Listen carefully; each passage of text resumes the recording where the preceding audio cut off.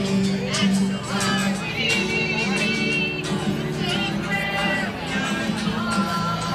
well, the first one is here, so we probably won't be together.